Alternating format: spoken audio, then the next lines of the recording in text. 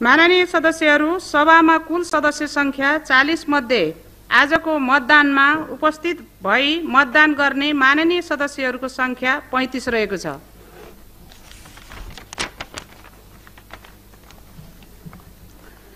माननीय सदस्यहरू कर्णाली प्रदेश सरकारका माननीय मुख्यमन्त्री यामलाल कणेलले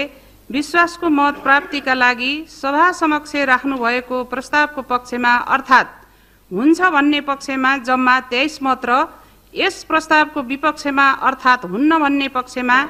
बाह्र मत परेको छ भने एक मत तटस्थ रहेको छ। माननीय सदस्यहरू कर्णाली प्रदेश सरकारका माननीय मुख्यमन्त्री एमलाल कणेलले विश्वासको मत प्राप्तिका लागि सभा समक्ष राख्नु भएको प्रस्तावको पक्षमा जम्मा तेइस मत परेको र उक्त सङ्ख्या प्रदेश सभामा तत्काल काम रहे कायम रहेको सम्पूर्ण सदस्य सङ्ख्याको बहुमत भएकाले माननीय मुख्यमन्त्री एमलाल कणेलले प्रदेश सभा समक्ष विश्वासको मत प्राप्तिका लागि नेपालको संविधानको धारा एक सय अडसट्ठीको उपधारा चार